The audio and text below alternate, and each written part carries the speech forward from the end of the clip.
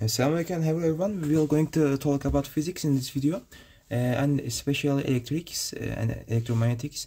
Uh, we, we, will, we talking about finding electrical field uh, of a highly symmetric systems uh, by, systems by the Gaussian law of physics and Gaussian law of uh, physics actually depends on like canceling the terms which are not very calculatable if you do other way around. So uh, since we can only apply this to symmetric systems, we are going to uh, talk about integrals and some of the uh, symmetric terms and we will going to make advantage of that. And actually if the system is not symmetric Gaussian law will still work but it is going to be a harder time for doing it. And actually it's not mean much of thing because uh, like you just com compute it and take integral of like very little points or something like that. Uh, okay it it can be complicated with or without the Gaussian law it's it's not symmetric.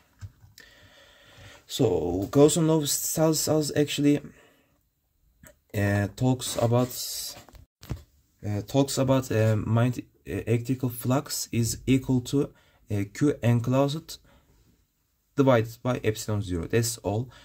If you close one charge with like fully closed it and uh, how much how, uh, without depending on the shape of your uh, closing sur uh, surface uh, it will have same uh, magnetic flux. And so if it is symmetric we can find the electrical electrical field on this surface. So it is you can see the formula in the screen right now. It is very easy to understand and actually we need to solve uh, as much as examples. If we're going to uh, face it with exam or something like that uh, it will help you a lot actually.